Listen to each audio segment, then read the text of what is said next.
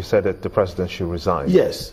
Perhaps resign is too harsh a word. Sure. Because um, the president can get better.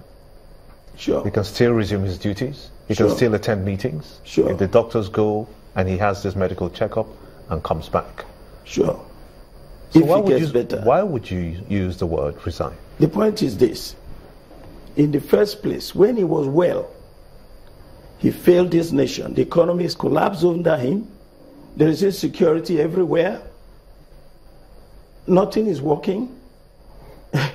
I mean, all the indices of poverty, poverty has gone up, unemployment has gone up, the direct foreign investment has gone down, the stock market is in disarray. Nothing is working in the country when he was well. Now he is not well. Things are only bound to get worse.